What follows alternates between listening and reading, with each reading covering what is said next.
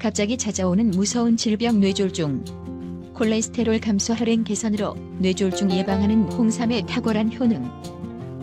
뇌졸중은 뇌의 혈액의 공급이 갑자기 차단되거나 뇌의 혈관이 터질 때 뇌세포를 감싸는 공간에 피가 누설되면서 발생합니다. 심장으로 가는 혈류의 부족으로 인한 심장 발작, 마비와 비슷한 이치로 뇌로 가는 혈류가 부족하거나 뇌 안에 피가 나는 뇌성 발적이라고 할 수 있습니다. 건국대 의대 구장현 생화학과 교수는 발표 논문에서 홍삼의 사포닌의 효과를 시험한 결과 사포닌이 콜레스테롤 합성에 관여하는 효소를 억제하고 콜레스테롤을 담즙산으로 전환시키는 효소의 활성을 최고 208배까지 증가시켜 콜레스테롤 감소 효과를 낸다고 밝혔습니다.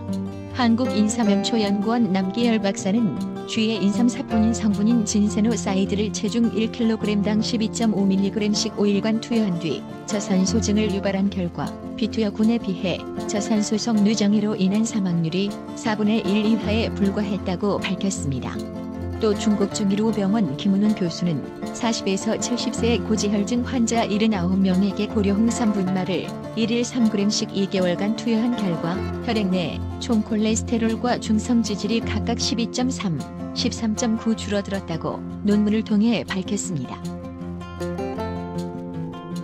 홍삼 제품을 고를 때는 진세노사이드 RG1과 RB1, RG3의 합대비 가격대를 비교해 합리적인 가격대의 제품을 고르는 것 또한 중요합니다. 홍삼 브랜드별로 제품의 가격이 차이를 보이는데 무조건 싸다거나 비싸다고 좋은 제품이 아닌 것은 누구나 아는 사실. 종류가 너무 많아 어떤 제품을 골라야 하는지 일반 소비자가 알기는 쉽지 않습니다. 홍삼 제품을 고를 때 가장 중요한 것은 사포닌 함량. 많은 제조사가 사포닌의 함량이 많은 것처럼 보이기 위해 소비자가 알아보기 어렵게 표기하는 얄팍한 상수를 부리고 있지만 잠시만 살펴보면 사포닌이 얼마나 함유되었는지 알 수 있습니다. 또한 건강기능식품 마크를 획득한 제품인지 단순히 홍삼향만 들어간 음료인지 모두 체크한 다음 꼼꼼하게 살펴보고 구매를 결정하는 것도 중요합니다. 낮은 품질에 비하여 과도한 가격이 책정되어 있는 제품도 시중에 많이 유통되고 있기 때문입니다.